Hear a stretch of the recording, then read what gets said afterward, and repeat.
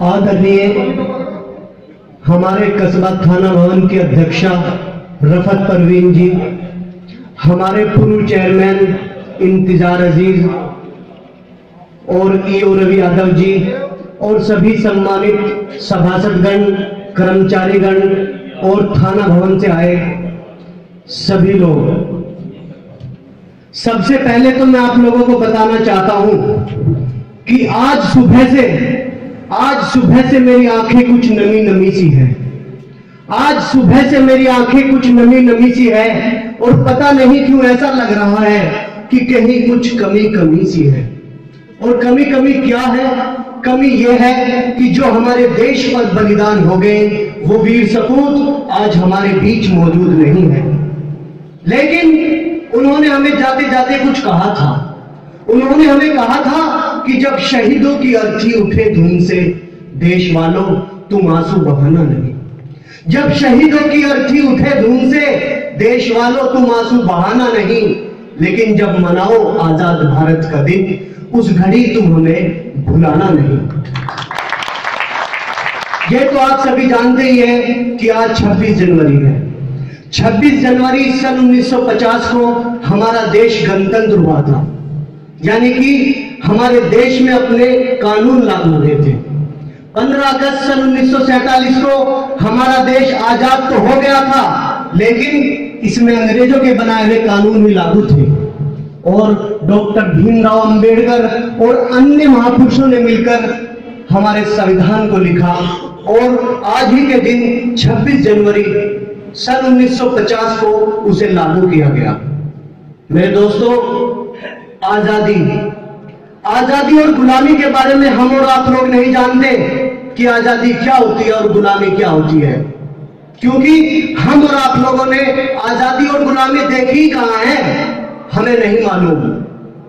अगर आज़ादी या गुलामी के बारे में पूछना है तो कैद में पड़े हुए उस पंछी से पूछिए, जो पिंजरे में कैद है।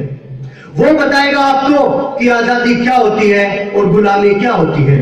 या फिर जेल में कैद उस व्यक्ति से पूछिए जो आजीवन कारावास की सजा झेल रहा है। वो बताएगा आपको कि आज़ादी क्या होती है, गुलामी क्या होती है। हम आप, हम और आप लोगों को आज़ादी और गुलामी के बारे में नहीं पता।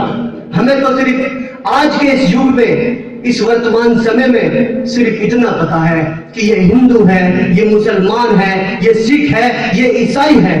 आपसी ईर्ष्या जगन में हम इस तरीके से लिप्त हो चुके हैं कि ऐसा लग रहा है कि अब इस भारत का, इस देश का क्या होगा?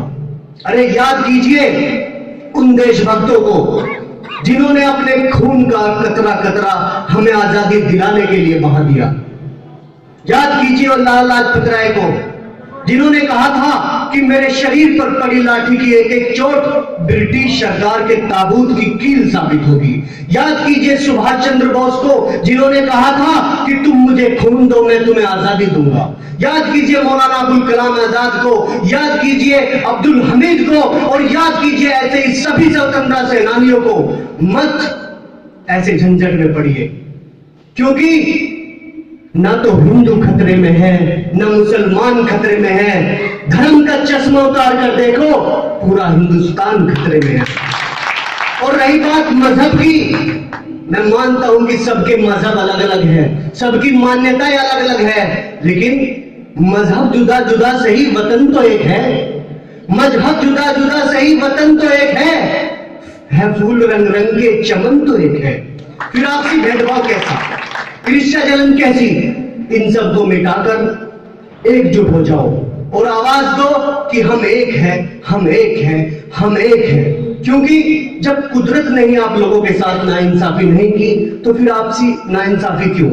क्योंकि जब कोई बच्चा अपनी माँ के पेट से जन्म लेता है तो उसके माथे पर लिखा रहता है कि ये हिंदू है, मुसलमान है।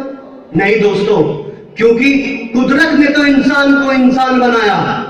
कुदरत ने तो इंसान को इंसान बनाया, फिर हम ही ने तो उसे हिंदू या मुसलमान बनाया। क्या उसके माथे पर लिखा रहता है कि तू हिंदू है, मुसलमान है? नहीं दोस्तों। एकजुट होके हमें अपने भारत देश को आगे बढ़ाना है, वो तरक्की की ओर ले जाना है। रही बात थाना भवन की, इस थाना भवन को महकाने में जितना योगदान पूर्व चेयरमैन इंतज़ार अज़ीज़ का है यह आप सभी लोग जानते हैं।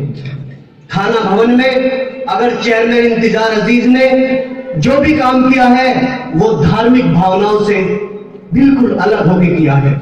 सबसे पहले तो आपके इस कस्बा थाना भवन को कार्यालय दिया।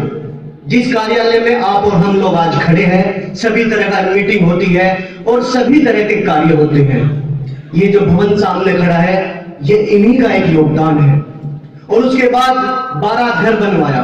वो किसी एक के लिए नहीं बनवाया सभी के लिए बनवाया। चरथावल बस स्टैंड बनवाया सभी के लिए बनवाया। यानी कि अब तक जो भी कार्य कस्बे में कराए वह सभी के लिए कराए। तो मैं आप लोगों से गुजारिश करना चाहता हूँ कि कस्बे के विकास को और आगे बढ़ाने के लिए माननीय चेयरमैन और हमारी अध्यक्षा रफत परवीन जी का साथ दें और इनको गुमराह करने की कोशिश न करें।